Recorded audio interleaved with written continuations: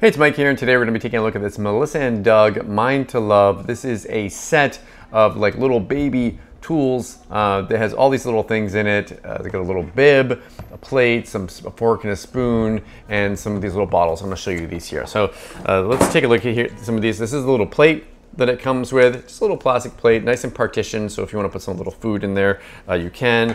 Uh, got this little bib that it comes with with a little bee looks like a, or sorry, a butterfly uh, and some flowers uh, on there. Uh, they've got some little feeding things here, which I like about this is that these are kind of like, I don't know if they're old fashioned or what they are, but this one, like you turn it over and it looks like it's going out. So it's kind of fun for them. They're kind of wondering where the heck it's going. And you have this one here, it looks like, like juice or something and it goes down like that as well. So it's a little bit fun. They've got some like applesauce in here, some peas and carrots, uh, and these actually open up as well. So if you want to put something in there, you can. Um, then it has like the little spoon and the fork that goes along with it. So a nice little feeding set uh, from Melissa and Doug, and I hope you enjoyed this review.